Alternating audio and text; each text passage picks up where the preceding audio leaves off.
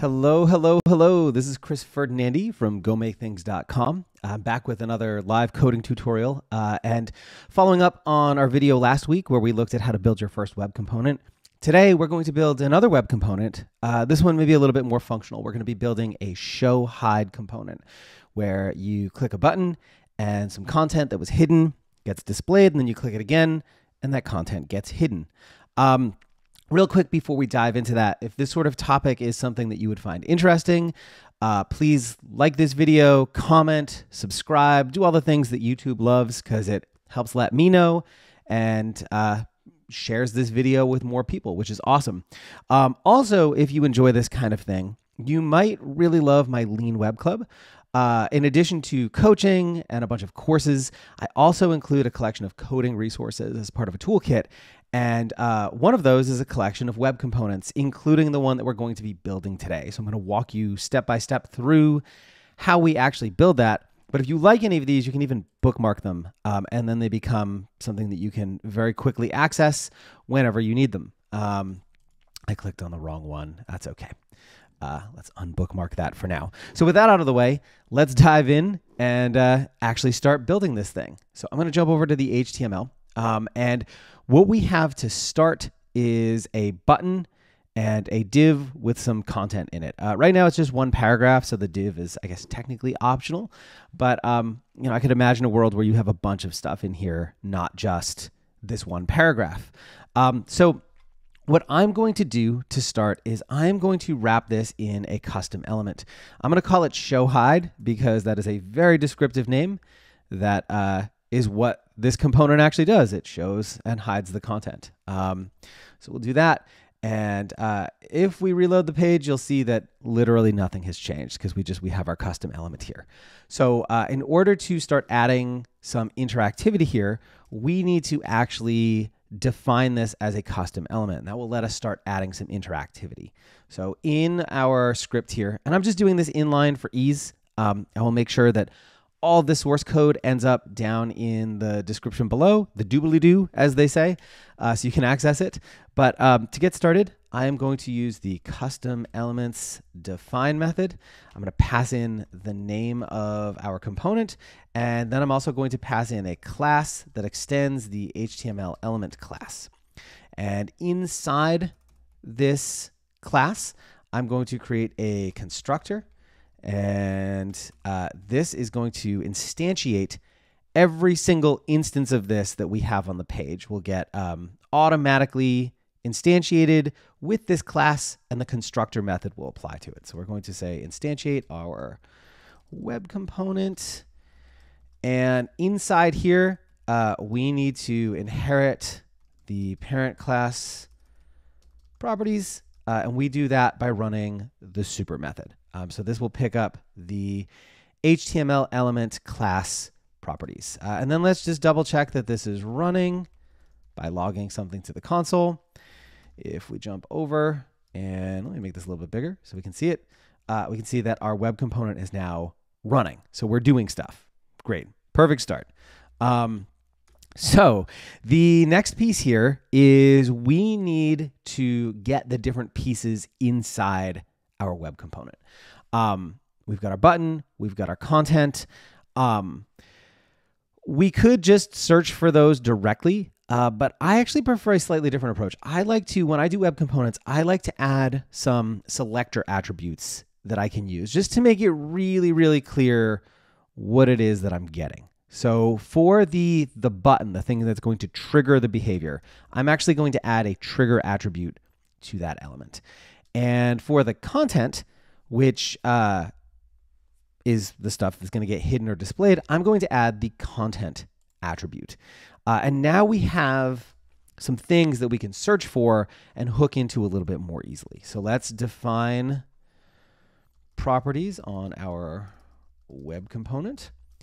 And I'm going to say this trigger equals this query selector and then I can use an attribute selector to look for that trigger.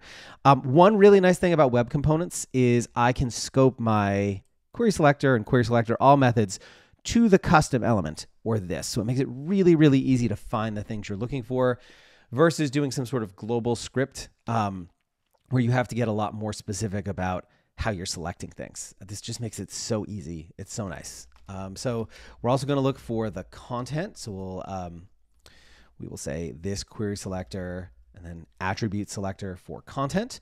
Um, and then finally, if uh, if there is no trigger and or there's no content, uh, we're going to bail because if we don't have the elements we need, there's no point in continuing things. But let's also log this trigger and this content just to make sure this is working the way it's supposed to. Uh, and here we can see we get the button, we get the content. Um, one other thing I want to do. So uh, this button is basically useless without the script, but the content could very well be useful. So what I'm going to do in my HTML, I'm also going to add the hidden attribute to that button. And so it'll be hidden by default. So let's assume the JavaScript never loads. People get the fully visible content, they can interact with it, they can use it. Um, and uh, and then when the script loads, we will show it. So let's go ahead and add some of that interactivity now. So I can get rid of this. Um, and we will add, um, let's call this setup the UI. Uh, so what I'm going to do is on the trigger, I am going to use the remove attribute method to remove the hidden attribute. And that will make that button visible again. So once the script loads and we can actually do stuff, we can show the button. Um, now, the other thing, uh, the um, uh, the component we're building is what's called a disclosure pattern, and that has some accessibility expectations around it. Um, so if you visit uh, w3.org, uh, the W3C web accessibility um, page, so WAI ARIA, there's a whole long URL. I usually just Google ARIA authoring practices and or DuckDuckGo ARIA authoring practices, and that takes me here. Um, and then they have a tab that is just full of patterns. And uh, if we scroll down to the one we are looking for, disclosure, show hide, uh, it tells you what it is. A disclosure is a widget that enables content to either be collapsed or expanded. And then if you click in on that, it actually tells you all of the different things that are expected around this pattern. So one of them is keyboard interactions. So uh, when the disclosure control, that's our button, has focus, entering it or using the spacebar should toggle visibility. Um, fortunately, because we are using a button and not trying to hack our own HTML element, that happens automatically. Um, so enter and spacebar interactions on a button automatically trigger a click event. So all we have to do is listen for click, and that will just be taken care of for us. Um, but then uh, what I'm also interested in is the roles, states, and properties. This is really where a lot of the rubber hits the road um, for me. So uh, the element that shows and hides the content has a role of button. Because we have actually used a button element, we do not need to add that role. It's already there by default, just as an innate aspect of the button being a button. Um, when the content is visible, the element with the role button has aria expanded set to true. When the area is hidden, it is set to false. So this is, I think, the most important part in here. We're going to skip this optionally with ARIA controls. Um, ARIA controls tend to work a little bit uh, iffy depending on um, the screen reader browser combination the person is using for, and it's optional. So we're going to set that aside for now. We're going to focus on this, ARIA expanded. So on our button, we want eventually ARIA expanded and then this is going to have a value of either true if this content is being shown or false if it's not. Um, so we are going to, rather than expecting the author to hard code that in, we're going to add that as part of our script instantiation. And the reason we do that is because it saves the author from forgetting and then breaking accessibility. Um, and also because those attributes would be useless until the script loads anyways, so we might as well just handle them as part of the script setup.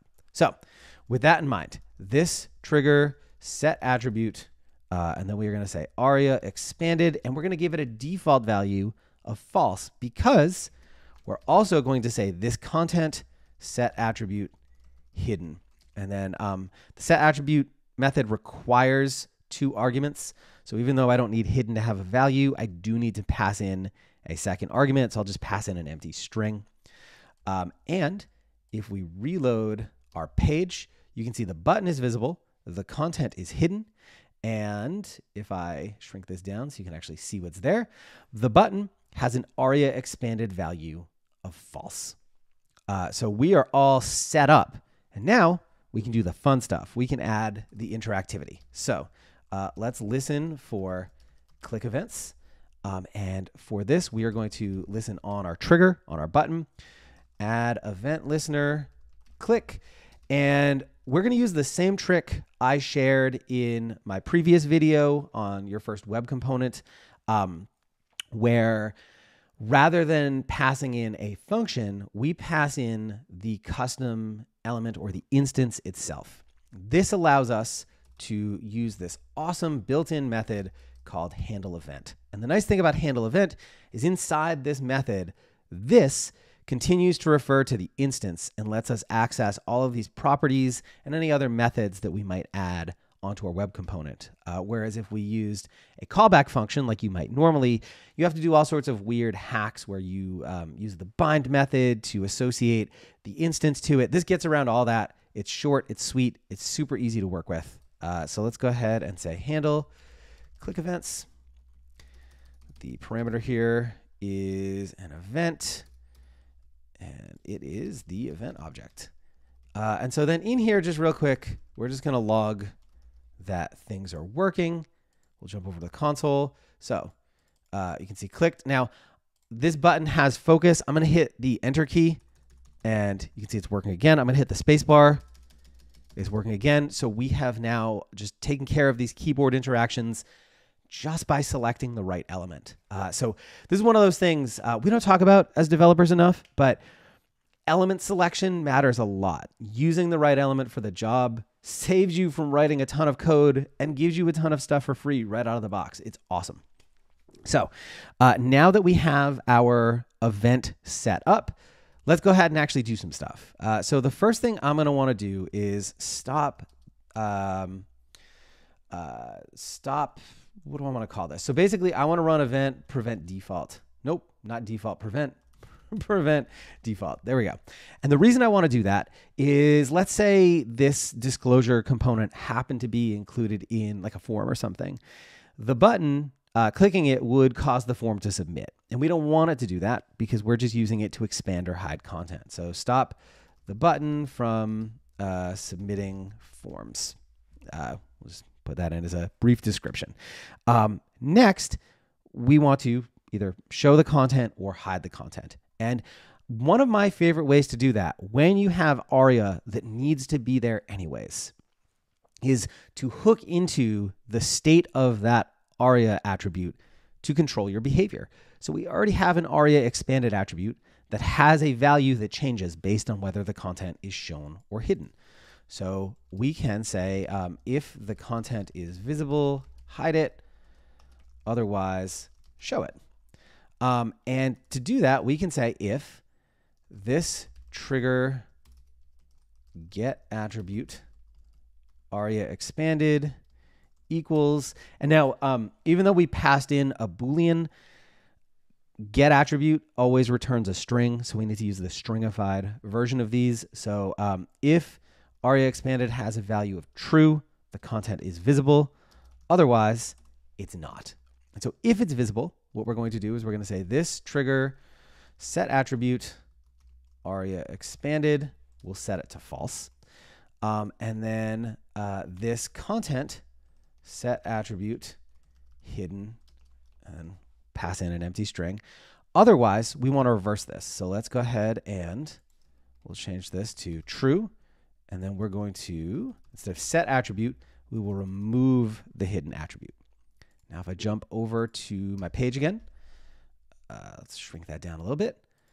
If I click the button, my content is visible. If I click it again, it hides. I can do that with the keyboard as well if needed. And we have our interactive component.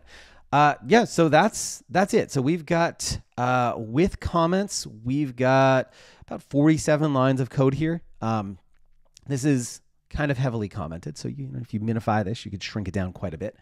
Um, but you can see how easy this is and how nice having a web component makes this. Because now, if I wanted to add another one of these, I don't have to do anything else. I don't have to. Um, if you've ever worked with like, uh, you know, libraries before, a lot of times you have to do like new.